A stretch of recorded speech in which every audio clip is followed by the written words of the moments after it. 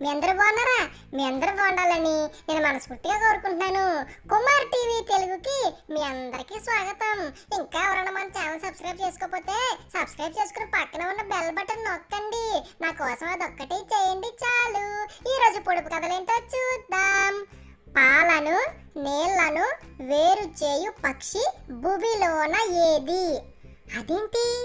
ఓహో పాలను నీళ్ళను కలిపేసి ఒక బౌల్లో పెడితే ఆ పక్షి పాలు ఒకటే తాగి నీళ్ళు వదిలేస్తాదా? అంటే పాలను నీళ్ళను వేరు చేస్తాదా? ఏంటా పక్షి? అలాంటి పక్షిని పెంచుకోవాలి. మీకు తెలుసా? ఓ హంస.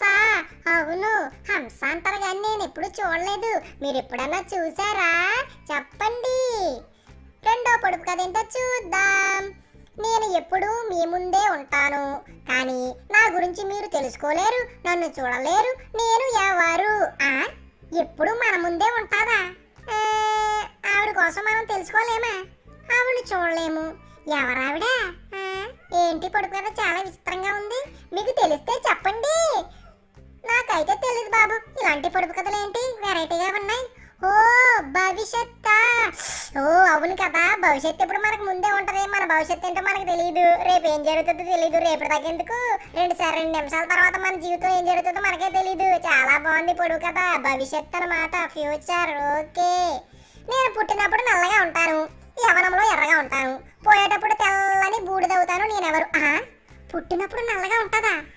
యవ్వనంలో ఎర్రగా ఉంటుందా? అంటే యవనంలోకి వచ్చేసరికి ఫేరలోలు ఏమన్నా రాసుకుంటుందేమో. నేను కూడా రాసుకుంటాను అయితే ఎర్రగా పోయేటప్పుడు తెల్లని బూడు తవ్వుతారా? అంతే కదా మరి. ఇంతకీ ఏంటి? ఈ నలుపు ఎరుపు తెలుపు. ఓ బొగ్గ. అవును బొగ్గ అంతే కదా. బొగ్గ ఏమో ముందు నల్లగా ఉంటది. తర్వాత దాన్ని కలిసినప్పుడు ఎర్రగా అవుతుంది. లాస్ట్కి బూడిదైపోతుంది జొన్న పొత్తులు కాలుతారు. బొగ్గుల మీద భలే ఉంటాయి. వర్షాకాలం వస్తుంది. జొన్న పొత్తులు తినొచ్చు. నేను అందరి దగ్గర ఉంటాను.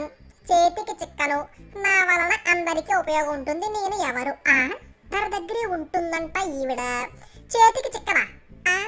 చేతికి చిక్కకుండా ఏం చేస్తుంది? కానీ అందరికీ ఉపయోగం ఉంటుందంట. అబ్బా!